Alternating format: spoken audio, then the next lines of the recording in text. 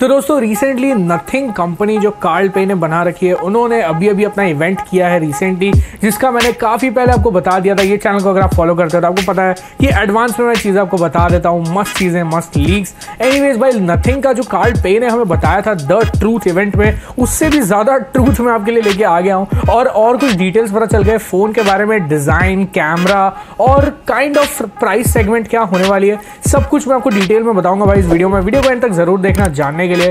काफ़ी मस्त है भाई, काफ़ी एक्साइटेड हूँ नथिंग ब्रांड के लिए। तो बस बिना किसी तरीके लेट्स गेट स्टार्ट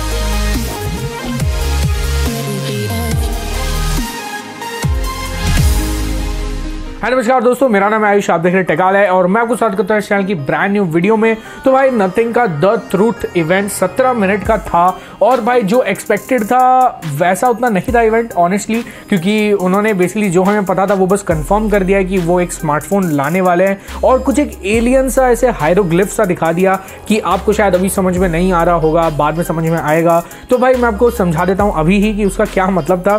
तो उसका मतलब ये था भाई कि जो जो लाइन्स हमें दिख रहे हैं ना, उस हायरोग्लिफ के अंदर सिर्फ़ उतना ही पार्ट जो है फ़ोन का छुपा रहने वाला है बैक साइड में, बाकी सब कुछ एक्सपोज होने वाला है। तो आपने ऑलरेडी लीक्स में काफ़ी सुन लिया होगा कि बैक पैनल जो है ट्रांसपेरेंट होगा मी अल्ट्रा वगैरह जो जिन्होंने अटेम्प्ट किया था वैसा होगा। तो भाई, वो काइंड ऑफ़ सही बात भी है। और जो लोग बता रहे हैं, मेरे ख्याल से उससे ज़्यादा ट्रांसपेरेंट होने वाला है। अगर आपने इनका नथिंग ईयर वन देखा हुआ है तो भाई वही डिज़ाइन लैंग्वेज ये लोग फॉलो करने वाले हैं और ट्रांसपेरेंट बैग जो है, इनके लिए काफ़ी एक इंपॉर्टेंट यूनिक फैक्टर होने वाला है, जो बाकी कंपनीज़ अब नहीं कर रही है। और पूरे इवेंट में कार्ड पे ने यही बोला कि स्मार्टफ़ोन कंपनी काफ़ी बोरिंग हो गई है इंडस्ट्री काफ़ी स्टैगनेंट हो गई है, कोई इनोवेट नहीं कर रहा है एप्पल के अलावा। वो मुझे सुनकर थोड़ा फनी लगा, क्योंकि कुछ साल पहले तक वो खुद वन प्लस चला रहे थे, काफ़ी सालों तक। तो इनडायरेक्टली वो बोले कि उन्होंने खुद इनोवेट नहीं किया कुछ सालों से। एनीवेज वो थोड़ा फनी चीज़ था।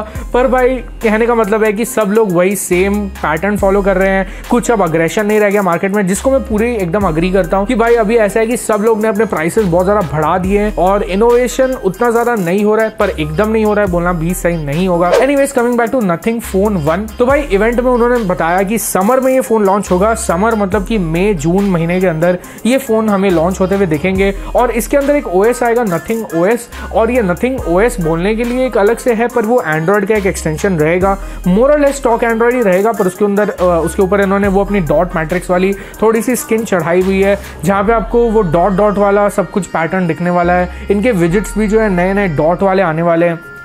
और मस्त सब, सबसे ज़्यादा मस्त मेरे को फीचर लगा कि भाई जो कंट्रोल सेंटर है, उसके अंदर आप देख पा रहे होगे कि अलग से एक सेक्शन है बिल्कुल कनेक्टेड डिवाइसेस के लिए, चाहे वो एयरपॉड्स हो कार्ड के या टेस्ला कीज वो एक ही विज़िट के अंदर वो मल्टीपल चीज़ें एक्सेस कर पा रहा है। काफ़ी ज़्यादा स्मार्ट और इनोवेटिव है ये एक ऑप्शन उसके अलावा उन्होंने एक म्यूज़िक रिकॉर्डर भी शेयर किया था इवेंट के अंदर। तो म्यूज़िक रिकॉर्डर में वो लोग ने दिखाया था कि कैसे आप रिकॉर्डिंग कर सकते हो। उसके अलावा जो डिस्क घूम रही है, उसके साथ आप इंटरेक्ट कर सकते हो ट्रैक को आगे या पीछे करने के लिए। तो सही है मतलब कुछ इनोवेटिव चीज़ करें लोग यूआई वगैरह के साथ और फंक्शनलिटीज के साथ, जो कि इनोवेटिव है और कोई भी ऐसे टेक नर्ड जो हम लोग हैं, उनको थोड़ा एक्साइट कर देती है ऐसी कंपनीज़ आके कि चलो कुछ नया आ रहा है। सबसे खुश होने वाली बात तो ये है कि भाई इसमें स्पेक्स काफ़ी मस्त आने वाले हैं। स्नैपड्रैगन का प्रोसेसर होगा 50 मेगापिक्सल का सोनी का कैमरा होगा और उसके अलावा जो डिस्प्ले है वो एमोलेड डिस्प्ले होने वाली है और मोरलेस कम से कम 90 हर्ट्ज या 120 हर्ट्ज तो होनी चाहिए अभी के टाइम पे और भाई वही चार पाँच हज़ार एम बैटरी दिखेगी। तो स्पेक्स के मामले में तो हमें काफ़ी हद तक सिमिलर मिलेगा। बाकी फ़ोनों की तरह मेन डिफरेंस होगा यहाँ पर सॉफ्टवेयर के अंदर और तीन साल का ये लोग अपडेट जो है प्रॉमिस कर चुके हैं इसी इवेंट में। तो ये काफ़ी मस्त चीज़ है। फाइनली हमें एक और नॉन चाइनीज़ ऑफरिंग होगी जो अच्छा सॉफ्टवेयर अच्छा स्पेक्स और अच्छी प्राइस में देगा। तो भाई ये जो है फ़ोन आएगा मतलब थोड़े मिड सेगमेंट के आसपास प्राइस में, यानी कि thirty to forty thousand range में ये फ़ोन आएगा। तो ये काफ़ी मस्त बात है कि फाइनली एक अच्छे अग्रेसिव प्राइस पॉइंट पे हमें एक न्यू फ़ोन देखने मिलेगा। तो काफ़ी ज़्यादा लुक फॉरवर्ड कर रहा हूँ इसीलिए कंपनी को और क्या प्रोडक्ट्स ये लाते हैं? क्योंकि इन्होंने इको बनाने का प्रॉमिस कर दिया है अभी। और इको का मतलब होता है phones tablets laptops basically Apple का एक ऑल्टरनेटिव बनाना चाहते हैं जाके, जहाँ पर डिवाइसेस मस्त एक कनेक्टेड तरीके से काम करें। और ना सिर्फ़ इनके नथिंग वाले प्रोडक्ट्स बल्कि और भी इको में ये लोग ईजिली इंटीग्रेट कर पाए बाकी ब्रांड्स के प्रोडक्ट्स काफ़ी ज़्यादा एक एम्बिशियस आइडिया लगता है, पर काफ़ी लुक फॉरवर्ड कर रहा हूँ। अगर सच्ची में लोग ऐसा कुछ बना देते ना तो काफ़ी मस्त हो जाएगा। तो एनी क्या आप लुक फॉरवर्ड कर रहे हो क्या? या नथिंग आपको नथिंग ही लग रहा है या समथिंग लग रहा है, क्या लग रहा है? फाइनली मैंने नथिंग पे एक जोक कर ही दिया।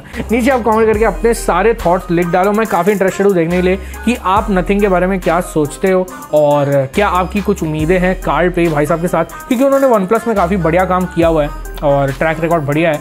तो बस बता दो नीचे और वीडियो को यहाँ तक देख ही लिया है। तो लाइक कर दो यार, क्योंकि लाइक अगर नहीं करोगे तो यहाँ तक देख भी लिया।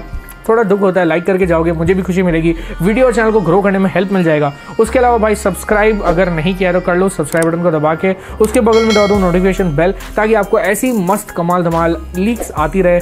उसी के साथ इस वीडियो को देखने के लिए धन्यवाद। मैं मिलता हूँ मेरी अगली वीडियो में।